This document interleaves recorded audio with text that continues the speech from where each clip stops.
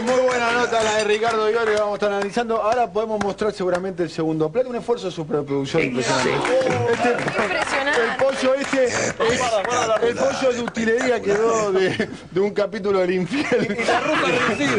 Un capítulo del infiel de que está Luisa Culió con Hernando Andrés. ¿Se acuerdan de una escena inolvidable? Bueno, aparece este pollo. este. Bueno, sí. La guarnición La, repite, la, la, pero la muy guarnición, rica. a toda. La verdad que no escatimamos recursos a la hora de Para nada. Bueno, ¿quieren hablar del tema de Ricardo Iorio? Iorio le A ver, atención. Lo banco. Vos, vos lo bancás a Iorio. Lo banco a Iorio. Eh, la doctora Mengolini banca a Iorio y el doctor Matías Castellano lo banca a, a Es Iorio. increíble, es increíble cómo uno puede estar tan radicalmente en la vereda de enfrente en temas este, filosóficos Sí. y políticos, aunque humanos, y sin embargo bancarlo. Es un Pero como personaje es un personaje muy querible por lo auténtico. Pero por ejemplo cuando dice que los judíos tienen que no, No, canten el, que no canten el himno, sino que canten el- Pero eso es lo la único- canción tampoco patria me gustaría ser el sobrinito y que me abra así y me tire la sopa caliente, digamos. A ver. Hay un poco de violencia también en media extrema de, de Yo Iorio. básicamente no le Y le parece que está bien eso, ¿no? A ver, La violencia creo que más que nada es verbal y, y me parece que también marca lo, interesante de, de lo- de los artistas, ¿no? Que a veces puede ser un gran artista, como en el caso de Iorio, y decir barrabasadas. Ah, no, no, no van siempre de la mano ser una gran persona, tener Pero la idea de ser xenófobo y aparentemente antisemita y, y todo indicaría que sería como un decálogo de Yo lo que definiría que- un fascista, eh, por, por más que sea un gran artista justifica. ¿Vos decís que es un personaje, que es mentira? Es más que nada, yo creo que es un personaje. Ah, un personaje. Eh, yo creo que es un tipo. eh, sí, no sé si creer. importa eh, si es no le no, creo que es xenófobo, digamos. Es un tipo limitado en esas cuestiones, que tiene muchos prejuicios, pero no, no creo que sea un tipo xenófobo, es un fascista militante ni nada por el estilo. Que los que judíos no puedan cantar el himno, dice eso, que dice che que no es una barbaridad. Bueno, por Es eso, yo creo que tiene declaraciones incorrectas, intolerantes, que uno no solo no, no banca, sino que repudia, pero que dentro de esa incorrección, o más que incorrección, seguramente intolerancia, ha tenido posturas nobles. Y no está mal que uno destaque y se acuerde de esas posturas nobles que tuvo, que además sostuvo ¿por con sí? acciones. Porque él fue el primero que se acercó a la causa indígena, de los primeros que se acercaron a las madres. Y me parece que dentro de su locura y, y su incoherencia, porque además me parece que Dorio Iorio está loco, y hay que decir que está loco, ha tenido posiciones nobles. Entonces, por eso es que uno no sabe si bancarlo, si no bancarlo, y estás como en esa di- dicotomía pero no hay de una- terminar de entender al Pero no personaje hay, en su completo. Digo, no hay, que, no hay que hacer un esfuerzo por entenderlo, por bancarlo. Vos No, lo todo bancás lo o que no lo- lo bancás.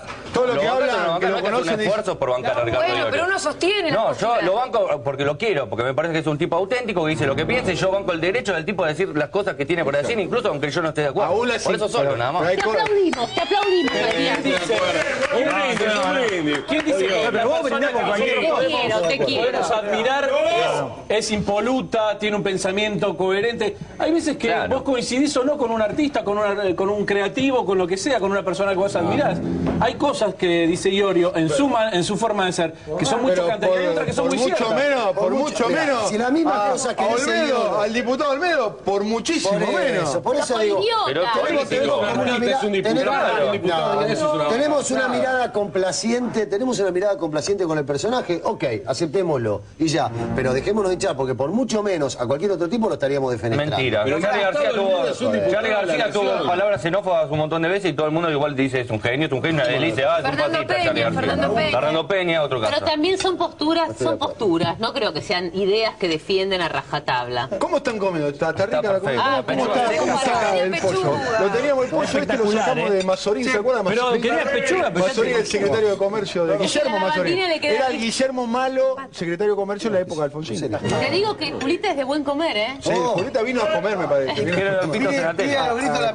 Le vamos a preguntar otra de las figuras que se incorporó a este programa el año pasado, pero realmente este año eh, explotó. Es- Estamos explotó. hablando de Tito Sueldo. Cuando vino acá era conductor de un programa en el canal 4 de La, La Matanza. Hoy dejó el canal un poco, ya está un poco agrandado, cambió el, el auto, cambió el lugar donde vive. Se agrandó, el típico, el típico ascenso rápido en el mundo de la televisión.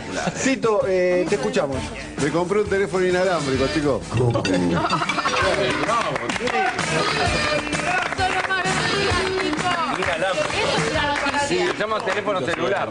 Lo único que quiero decir, Daniel, este, que quiero brindar por este día, por este año, pero se lo quiero dedicar a todas las chicas que están viendo este programa y en especial a la mesa. ¿Tenés un poema, algo, un regalo para hacernos? En especial a vos. Para mí, Eh, Ay, me cortaste el apetito. bueno, mirá. para Carla y para Julia. Sí. No, no, no, no. Dale, pero o para mí o para Julia. Para. Sí, pero ya, ya. Elegí, Después elegí. de, un par de copetines. ¿Te gusta la, ¿sabe cómo? gusta la partusa? Bueno, no importa. Ponele el ritmo que vienen los pastores, vamos, vamos.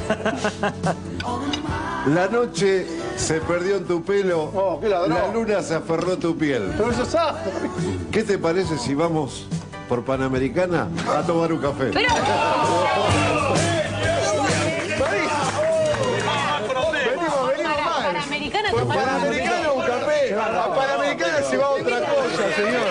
Yeah. Justamente piel rima con hotel. Tomémonos un café. Vamos, vamos ahora, llegó el momento un poco de la. de- ya vamos a ir al desmayo de Rocío Guirado Díaz con la tomografía computada Oh, televisada terrible. en vivo. Qué tema, ¿eh? Muy- Qué tema, tema. tema, la gente quería hablar de este tema justamente hasta ahora. Pero antes. El país te quiere hablar el de país. Que ahora la, están brindando la por evaluación de fin de año del doctor Me Castañón. agarras con la pechuga seca en... ¿Querés pensarlo? Vamos al té, ¿lo Vamos, pensás? vamos a pensarlo. Vamos al té, Rocío Guirado Díaz y la pornografía computada.